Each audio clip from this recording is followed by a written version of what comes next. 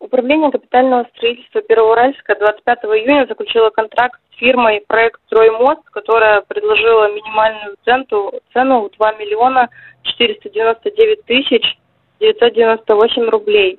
25 июня они приступили к работе, за пять дней они подготовили площадку и сегодня приступили непосредственно к, демон, к демонтажу здания.